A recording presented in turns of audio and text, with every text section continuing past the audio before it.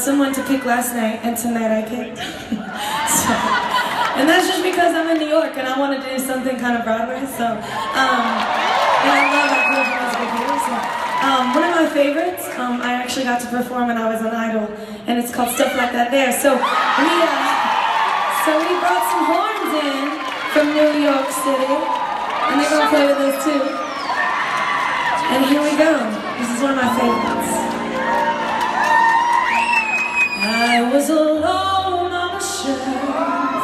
In a world by myself. Oh, where could my Prince Charming be? But a man came along made my life like a song and taught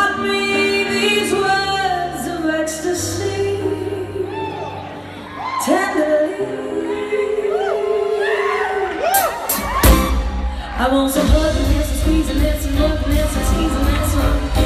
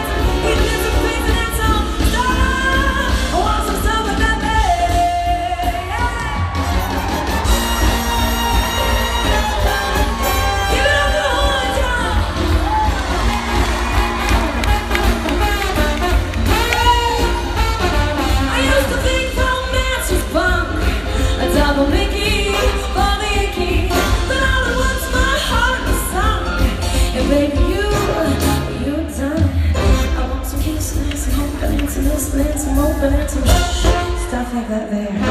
I want some weeping and some pain.